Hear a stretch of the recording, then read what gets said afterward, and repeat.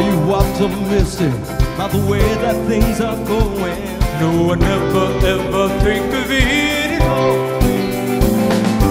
Don't you ever worry when you see what's going down. When I try to hide my business, there is no business at all.